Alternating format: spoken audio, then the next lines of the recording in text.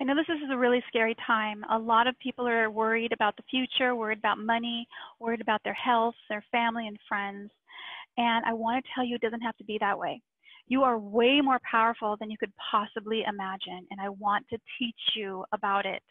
I'm Michelle Melendez, author of the best selling and double award winning book, End Dieting Hell How to Find Peace in Your Body and Release the Weight. And I want to teach you about the energy centers of your body how to line them up, and how to use them to feel grounded and safe. Joseph Campbell once said, There is enough power in one cubic centimeter of empty space to boil all the oceans in the world. That empty space lives within you.